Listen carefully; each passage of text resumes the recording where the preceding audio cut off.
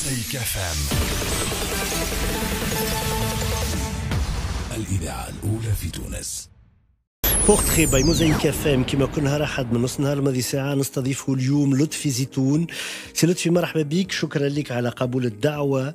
آه، المنفى إلى الجزائر في محطة أولى لكن لندن خاصة. كنت رفيق درب رشد الغنوشي ومدير مكتب في لندرا تقولش عليه صار الاف السنة التالي الشيء هذايا؟ تشوفوا كيفاش من بعد الأمور بعد برشا على بعضها. أديل thousand years ago. I feel like my life is flashing by. ذولي اليوم ما فهمت اللي كلها فلاش باك الحكاية كلها كلها تابعة بعضها. بطبيعة الحال million years ago مش thousand ما همش الاف مئات لكن آه، صحيح إحنا نحطوا في أغاني تنجم هكا تعطي نوع من الرومانسية آه، على الوضع. لكن ما فما حد شيء رومانسي الحقيقة في خطاب رشد الغنوشي مع عباس المدني وعلي بالحاج في الجبهة الإسلامية للإنقاذ في الجزائر. وكذلك من بعد وقت اللي جات ال- ال- الثورة آه، فما جاء خيار الرجوع إلى تونس بعد الثورة لطفي زيتون. ولهنا أنت منذ البداية كان عندك تحفظات على طريقة العمل اللي راجعين تخدموا بها في تونس. شنو كان النقاش أساسا؟ أول حاجة أنا كتبت آه، نهار 14 جانفي قلت آه، 2011 قلت أنا عمري ما تمنيت نكون مستقل كما اليوم. مم. علاش؟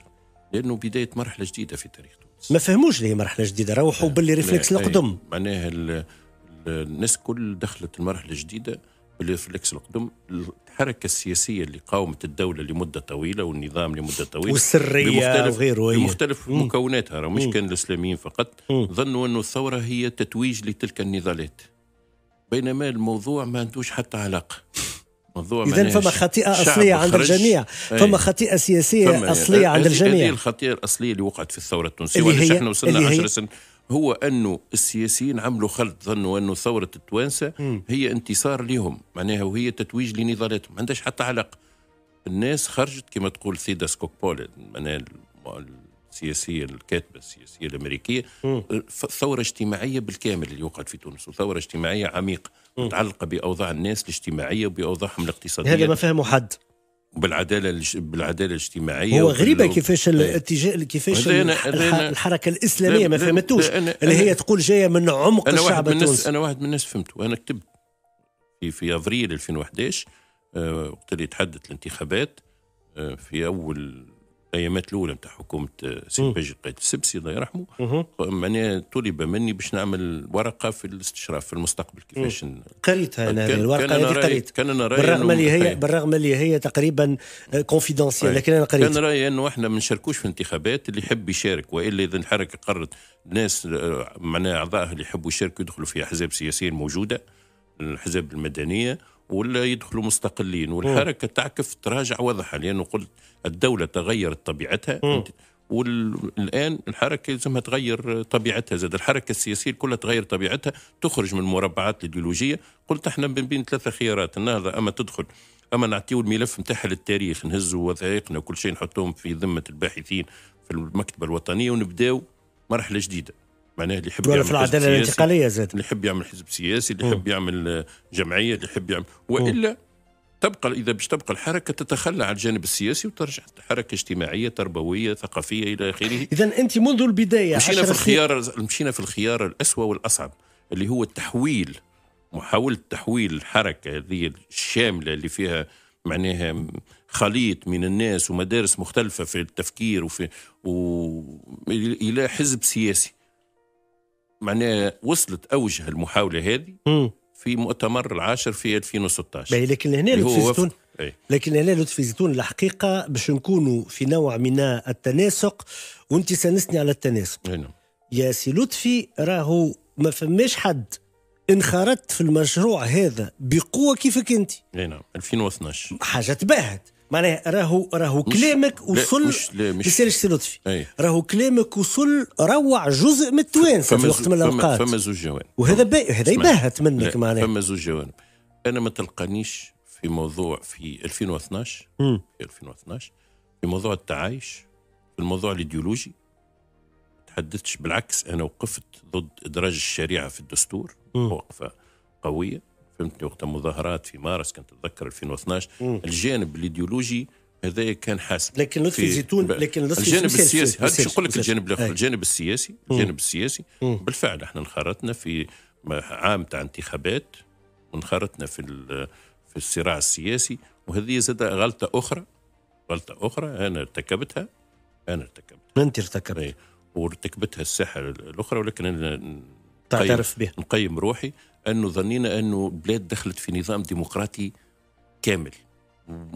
والديمقراطية شنية في, في, في هي الصراع السياسي في, في البلاتوات في محاولة معناها تغلب على الخصم معناها تقول أنت ما ردينا. ما رديناش بالنا الكل على بلادنا أي. أنه نمشوا معها بالسياسة اللي. اللي خلاني أنا زوز حوايج خلتني نراجع.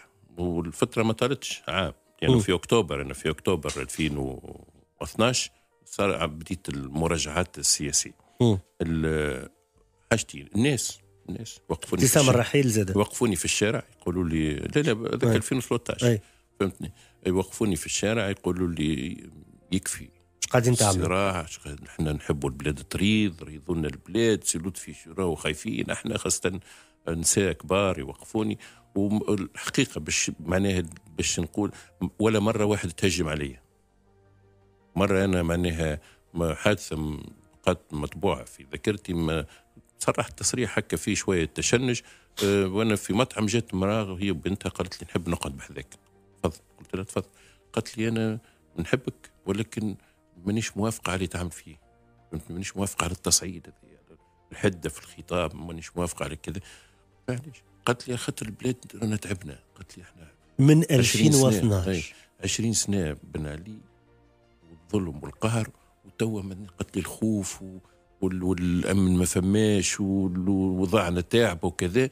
قالت لي معناها اذا تنجموا تريضوا ريضوا الناس تحب الرياض وتحب ال- فهذا إضافة ولكن الحدث السياسي لأنه ما يكفيش باش الناس تلاحظ لك في الآخر فما جهة أخرى زادة كانت معجبة بال- بالشيء وتشجع مش معجب أي. على يمينكم على أي. يمينكم كان فما تنظيم إرهابي يتنظم قدام التوانسة ومن بعد هز السلاح أي. والنهضة تخزر له وتقريبا لم تحرك ساكنا أي. معناها من الأول اي هذا ال laxisme اللي وقع معناها وقلة التجربة قلة التجربة وقلة مع المعرفة بالدولة ومسالك الدولة وما تقتضيه الدولة أنا أنا ال notion قريت علوم سياسية في على الجامعات لطفي زيتون جاوبني في عناية يرحم بوك اي أنا اسمع. كنتوا في بالكم اللي تنجم تنفلت الأمور وإلا هي قله خبرة. هل تم؟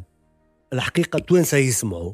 استغلال هذا اليمين المتطرف كذراع للعمل السياسي. نتاع سيبهم ولادنا ما عندهم وين يهزوا باش يهزوا للتدافع الاجتماعي وخلي التوانسه يفهموا اللي هذاك هو. صار الاستعمال الخطأ أنا- وإلا أنا لا؟ أنا نقول لك شوف وتنجم فما شهود. شهود اللي هما سي آه، عبد الكريم الزبيدي سي رشيد عمار سي آه، نبيل آه، آه، مدير العام الامن الوطني. وقتها وكنا في أعضاء في مجلس الأمن القومي. أي؟ وقتها. برئاسة رئيس الحكومة. ونجم تسألهم كيف طرح الموضوع؟ طرح دائما كتهديد. كتهديد للثورة وللأمن ولل- وللبلاد. ولكن المعالجة خطأ كان في المعالجة. أنا أقول خطأ كان في المعالجة مش في التصور الخطر اللي يمثله هذا التيار. خطأ في المعالجة إيه. إجرائي يتسمى ماهوش ماهوش في ايديولوجي المعالجة دونك في فما فما ارتخاء. ارتخاء. ثم إيه، ارتخاء، تيمو ثم هذا السؤال هذا السؤال. هو ارتخاء على خاطر الديمقراطية وتصور للديمقراطية ك- أنه الدولة تنجم تحتوي تنجم تحتوي الجميع. وتستوعب. هذا هو. هذا هو. هذا هو. أي. بال- donc بالديمقراطيه ما- melting pot ينجم معناها حل الحريات donc النمر اللي يحكي عليه الباجي قايد سبسي ماهوش غلط ما ينجمش كيف قال ربيو نمر بحذاهم و... و... و... لا لا لا لا مش مش هذا. معناها أنه الديمقراطية تخفف من الغلواء ال- ال- التطرف و اي بورتون هزوا سلاح اي. بورتون هزوا سلاح هذه اي بورتون هزوا هذا الدليل اللي المعالجة كانت غلطة. هذا الدليل المعالجة كانت غلطة في من الأساس يعني. غلطت علي العريض في التعامل مثلا مع قضية أبو علي. بعين. لا هي لحظات مهمة. ياس ما تسنيش على مش أشخاص. مش, أشخاص. غلطت غلطت السلطة وقتها في, في خطأ. تعاملها أي- أي مع. التو التوقيفات ولا صار- تعاملها الأمني. صار خطأ نعم. صار خطأ وصار كما قلت لك ارتخاء معناها كان من الأصل من وقتها يبدأ الحزم. ال- ف ولكن قلت لك أنا باش نرجعوا للمراجعات معناها السبب الرئيسي في أكتوبر 2012 إحنا كنا وعدنا الناس باش المرحلة الانتقالية تدوم عام فقط يا أخي. وتصير انتخابات ونرجعوا لل... لل... لل... للشعب. للصندوق. 2012 أكتوبر 2012 بعد عام ما ما كملناش توطئة الدستور. حيث أنا اعتبرت هذا إخلاف بالوعد واعتبرت أنه البلاد ما تنجمش تواصل بهذا الشكل. واليوم واليوم وهذا اللي وقع بعد. يعني. أي واليوم لطفي لطفي زيتون مش بعد عام بعد عشر سنين برشا توانسة يعتبروا اللي إحنا نعيشوا كالزبدة في كوبا اليوم عشر سنين باهين مش واحد يعمل آه، يعمل نوع من آه، من الحوصلة. الحركة هذه اللي أعطيتها حياتك. فشلت في السلطة إحنا عشر سنين هو نهاية مرحلة. نهاية المرحلة هذه شنو هي الطابع متاعها؟ هي الم- المربعات الإيديولوجية هذه اللي سمت رواح أحزاب بعد الثورة ولكن لم تتحول إلى أحزاب وعلى رأسهم النهضة لأنه هي أكبر المربعات هذه معناها كملت المهمة متاعها بفشل.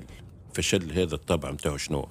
المؤشر الرئيسي متاعه شنو هو وجود حكومة بعد عشر سنوات من الثورة ما تترجمش نتائج الانتخابات اللي وقعت قبل العام يعني ما ما هيش سياسية عطاوا الحكم للتكنوقراط ويحبوا يحكموا بيهم من وراء آه، ستار هذا أنا نعتبره ما تحللش فشل. برشا أنا زيتون. فشل لهذه المرحلة فشل فشل. المرحلة نعم. المرحلة هذه قادتها البلاد تدخل توا في مرحلة جديدة d'accord البلاد لازم تدخل في مرحلة جديدة الحركة اليوم فعلا حركة مدنية أم لا؟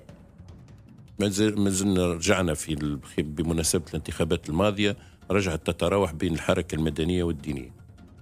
اليوم لطفي زيتون بالحق خرج من حركة النهضة وإلا لا؟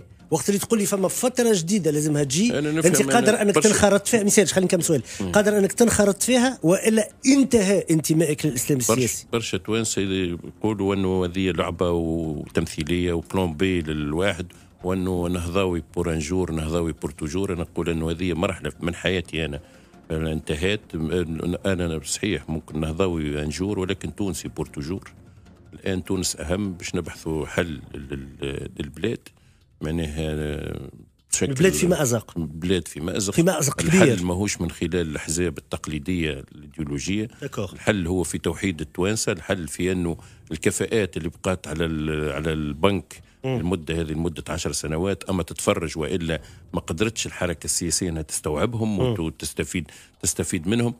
أنا نحس من اللي خرجت أول حاجة بشكل نوع من التحرر الفكري هل الحل والتحرر في مواقفي وقاعد نتعرف على مجموعة من الكفاءات أوكي. والتوانسة المسيسين جدا ولكن ما همش متحزبين اللي أنا نقول ممكن يقدموا بديل ويقدموا حل. هل الحكم اليوم ينجم يكون من غير النهضة ينجم ويلزم يكون ينجم ويلزم يكون راجل غنوشي اللي عرفته من داخل وعرفته في المنفى وعرفته على امتداد سنوات وسنوات هل الرجل جزء من الحل ولا جزء من المشكل؟ نقول إنه ينجم يكون جزء من الحل وينجم يكون جزء من المشكل بخياراته. بخياراته. وأنا وكان مش تنصح نحييه على كل وأنا علاقتي به علاقة شخصية مش فقط علاقة. سياسية وتنظيمية. أنا نصحته إنه ما يتعرضش لغضب شعبي. وهنا بدينا نشوفوا في غضب شعبي شبابي. طبعا فما تحقير كبير قلت أكثر من هكا قلت ينجم للتحركات كما بن. علي؟ معناه لا ما يتعرضش لما تعرض له الرئيس بن علي من غضب شعبي. أدى في الأخير إلى الهرب نتاعو فهمتني. وفما إرهاصات حقيقية. راهو اللي قاعد يقع في الشارع صحيح فما ناس قاعدة تنقص منه وترذر منه ولكن هو إرهاصات لغضب كبير يعتمل في الطبقات الشعبية ويعتمل خاصة عند الشباب اللي هو معناها ما عاشش ما قبل الثورة. ما عاش ما قبل الثورة ما يستعرفش بالشرعيات النضالية وبالشرعيات معناها التي اكتسبت قبل في في خلال حكم بن علي يعترف بالإنجاز. شنو البرامج؟ شنو الحلول اللي تقدموها لمشاكلنا شكرا لك لطفي زيتون